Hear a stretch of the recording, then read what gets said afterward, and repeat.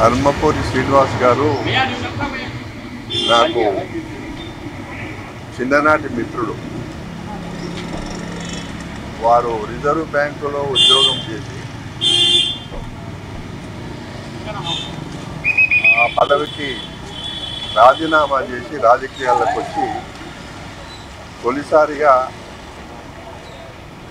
సమిష్టి రాష్ట్రానికి ఎన్ఎస్యు అధ్యక్షుడిగా పనిచేసింది. అప్పటి నుంచి రాజకీయాలలో మేమిద్దరం శాసనసభ్యులుగా ఒకేసారి శాసనసభలో అడుగుపెట్టాము డాక్టర్ చెన్నారెడ్డి గారి మంత్రివర్గంలో వారు ఎక్సైజ్ మంత్రిగా పనిచేసింది. అప్పుడు నేను అగ్రో ఇండస్ట్రీ చైర్మన్గా ఆ రోజు నుంచి డి శ్రీనివాస్ గారు రాష్ట్రంలో కాంగ్రెస్ పార్టీకి అధ్యక్షుడిగా ఒక పక్కన మంత్రిగా రాష్ట్రానికి అనేకమైన సేవలు చేసిన శ్రీనివాస్ గారు.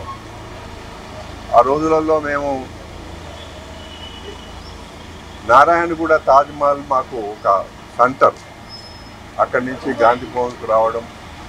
ఇవన్నీ కూడా గుర్తు చేసుకుంటే శ్రీనివాస్ గారి రాజకీయ సోపానంలో తెలంగాణ ఉద్యమం వచ్చినప్పుడు తానే ముందుగా ఉన్నాడు.